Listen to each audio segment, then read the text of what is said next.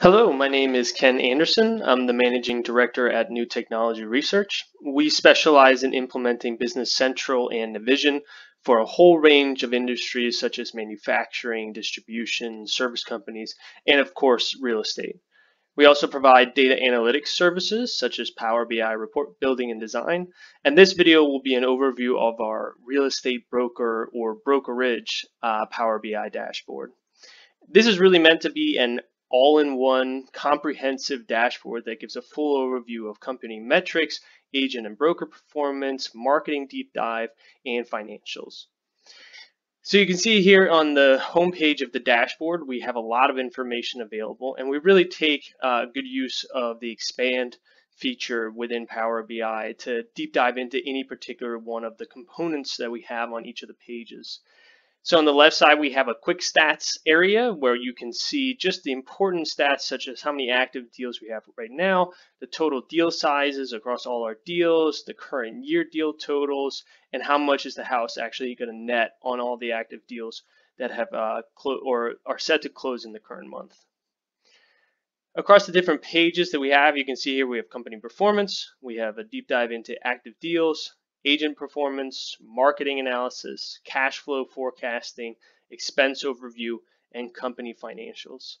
So I'm just going to quickly go through each of the pages um, so that you can get a sense of what the dashboard is really meant to do. So here on the company performance, this is really all about seeing the total deal counts by each agent or broker and the actual deal totals for each one.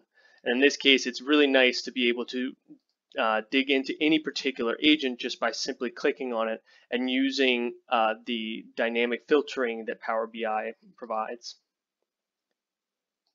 We can jump to the different pages using the page button in the bottom left, or we can actually use the tabs themselves on the dashboard to hop between each of the pages. So on the agent, uh, on the active deals page, we can filter by any one of our agents just to look at their active deals.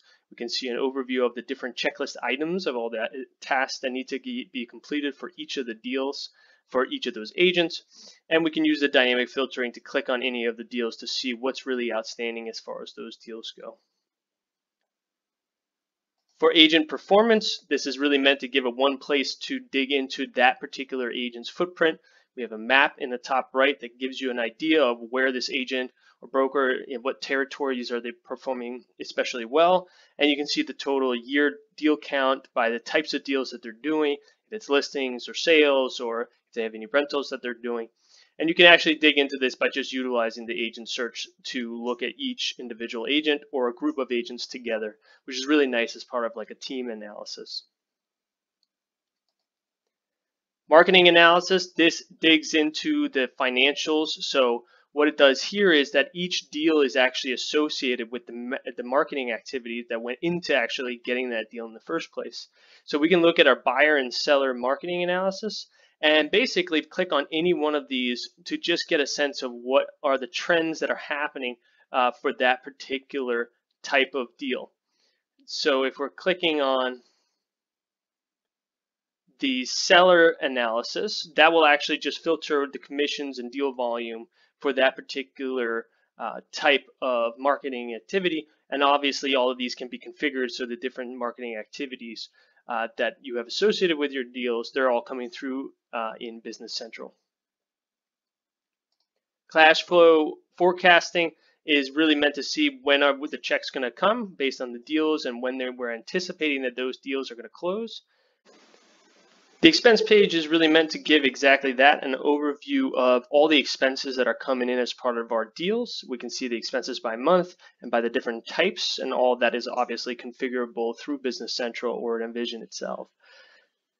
And the final page is just a quick, easy company financials. So this is a much more simplified view versus what would be a much more live implementation, just because you could break out the revenue and cost of goods sold in a much more comprehensive way when you have real data. Um, in this case, this is demo data. But in a real implementation, we would have many different uh, GL accounts or whatever you're using to actually differentiate the different revenue uh, channels and costs.